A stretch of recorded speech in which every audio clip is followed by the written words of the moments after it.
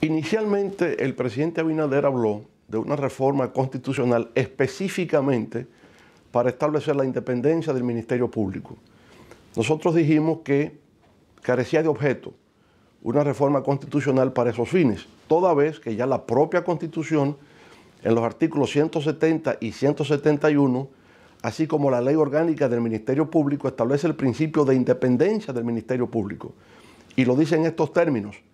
El Ministerio Público será independiente de todo órgano o poder del Estado al cual no estará subordinado.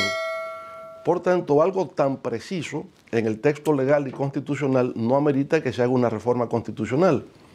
Luego, en el marco del diálogo se ha ampliado el alcance de esa reforma, eh, lo que indica que el mensaje nuestro llegó y al comprenderse que carecía de objeto, han, han introducido nuevos elementos.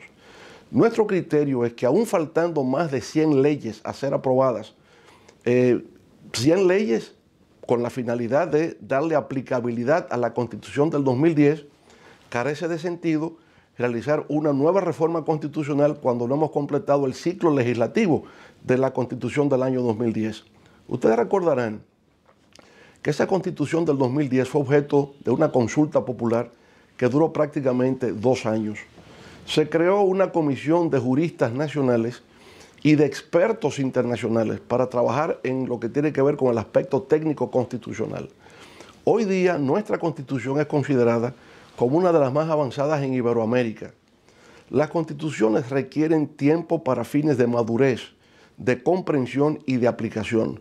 Yo creo que no tenemos por qué aventurarnos en una reforma constitucional en estos momentos cuando las necesidades del país están en otra dirección. Hoy el problema que nosotros tenemos, ¿verdad?, es el tema económico derivado, obviamente, del impacto eh, de la crisis sanitaria.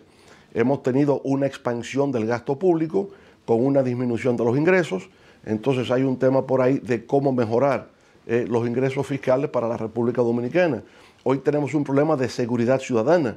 Hoy la atención pública está más bien en el alza de los precios de los productos de la canasta familiar.